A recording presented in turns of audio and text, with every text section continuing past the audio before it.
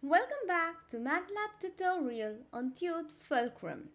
This session is on the structure data type in MATLAB.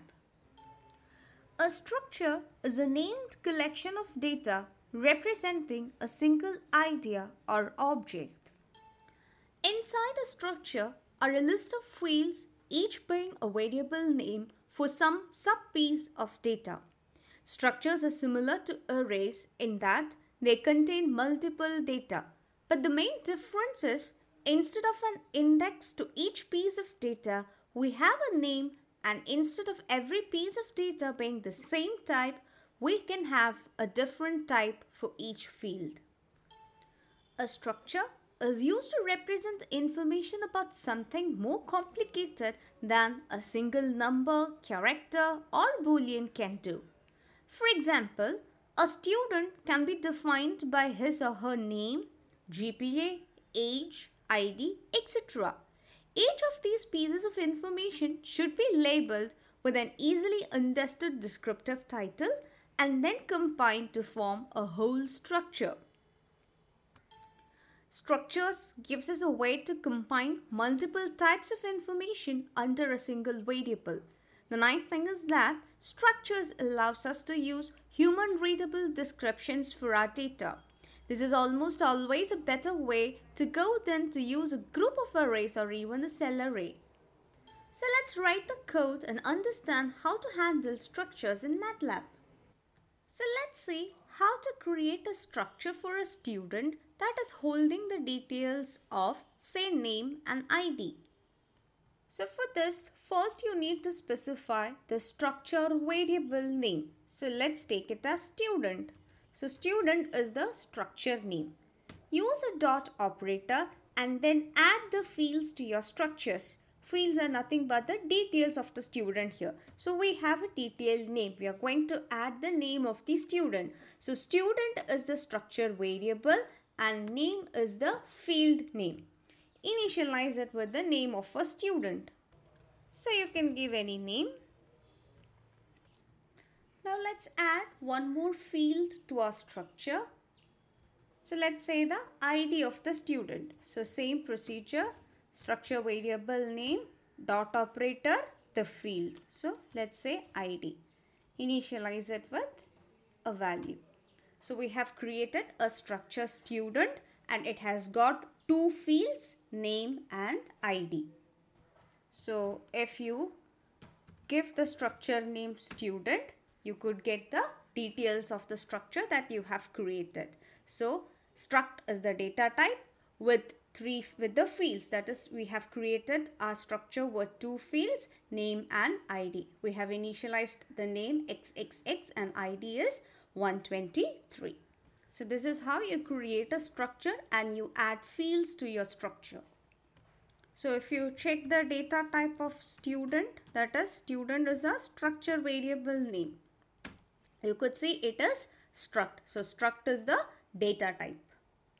So as seen, the student structure is combining data of various types. The name is of string type and ID is of the double data type and they are of various length. So name is a 1 cross 3 vector whereas id is a 1 cross 1 scalar.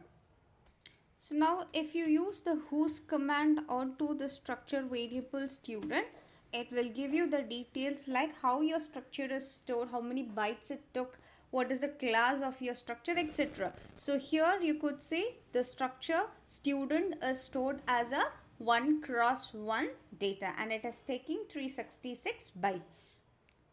Now suppose if you want to store the details of multiple students, we then create an array of structures. Suppose we need to store the two students information. And say we are going to create a vector of 1 cross 2 structures. So specify the student that is the structure variable name then specify the in then the dot operator and then you could add the fields as we have done previously. So let's give some name.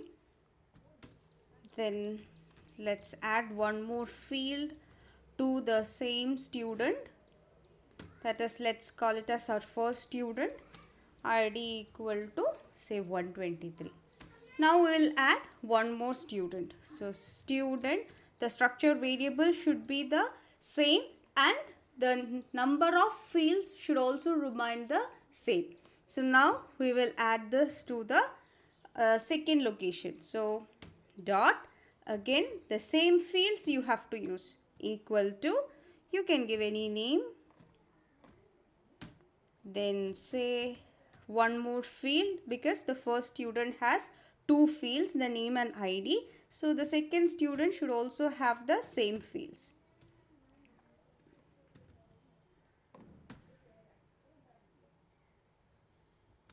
so now if you simply type your structure name you could see the structure is organized as a 1 cross 2 structure with two fields name and id so when we created the structure with student of 1 this is added to first row first column. Then when we say student of 2 this is added to the first row second column. So if you want to access the details individually if you give the command student of 1 it will get you the student details at the location first row first column. That is a first student. So if you want to access the second student so we'll specify it as student dot 2 now if you want to access the particular fields say you want to access the student name of the first student. So student of 1 then the dot operator specify your field name. It will give you the student name which was present at the first row, first column. Suppose if you want to access the name field of both the student, then you could simply give like student dot name. This will give you the name fields from both the students that is student of 1 as well as student of 2.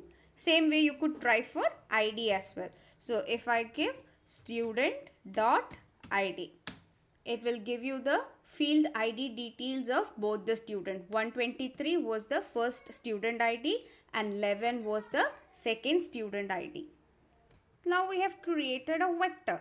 Say if you want to create the details of four students and you want to arrange it as a 2 cross 2 matrix. Same process you can adopt. So let's say student specify the index. So if I say 1 comma 1, the student will be added on to the first row first column. Say name. Initialize it with a data. We'll add one more field. So dot id equal to give some id the next student we are going to add. So we are going to create a 2 cross 2 matrix. So this student, let's say it is added to the first row, second column. So same number of fields and same field you have to add equal to, let's give any name.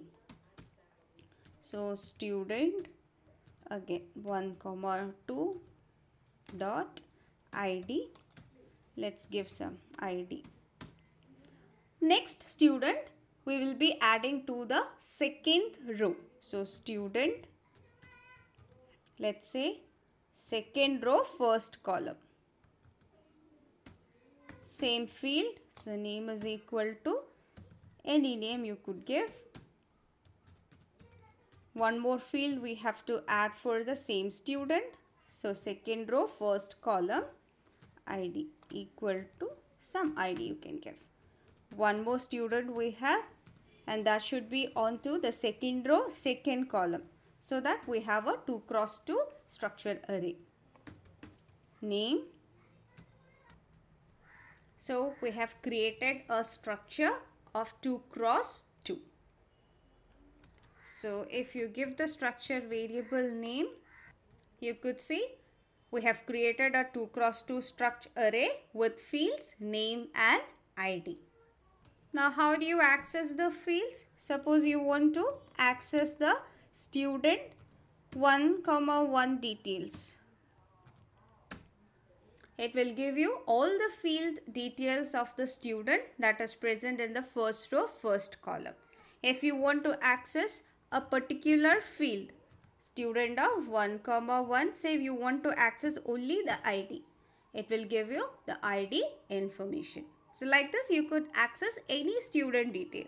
Suppose you want to access the id of all the students. How do you do that? student dot id this will give you the id of all the four students.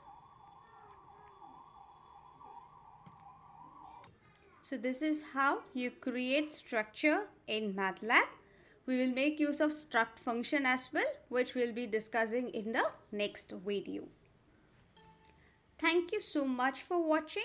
Please do like, share, comment and subscribe. And please don't forget to tap the bell icon.